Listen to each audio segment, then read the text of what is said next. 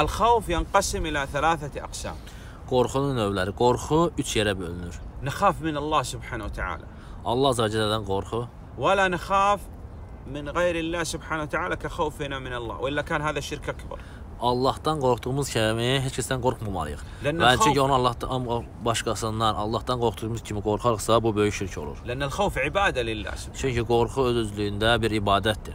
نعم الثاني من الخوف Xavf caiz, təbii.